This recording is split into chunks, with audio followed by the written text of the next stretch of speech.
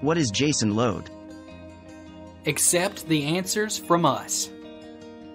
Load, JSON, load, takes a file object and returns the JSON object.